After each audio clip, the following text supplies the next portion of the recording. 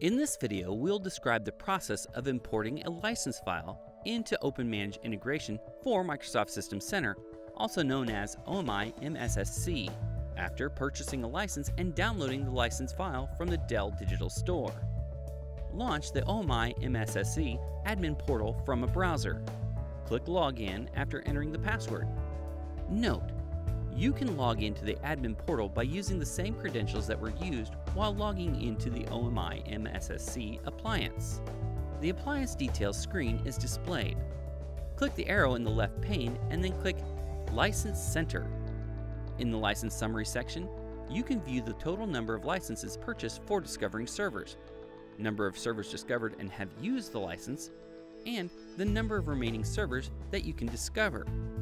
Note that by default, an evaluation license for 5 servers is available. However, this is overwritten by the number of production licenses that you purchase and import. To proceed, click Import.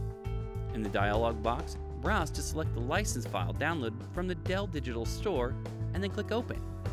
In the Licensing Center page, the information under License Summary is updated depending on the number of licenses being imported. In the Managing Licenses section, you can view each of the license files that is imported along with its details in the Details section when you click a license file under Managing Licenses.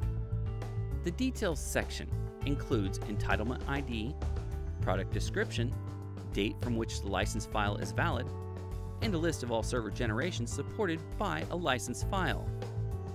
The license summary information summarizes the total number of licenses displayed in the Managing Licenses section. For more information about OpenManage integration for Microsoft System Center, visit dell.com forward slash support.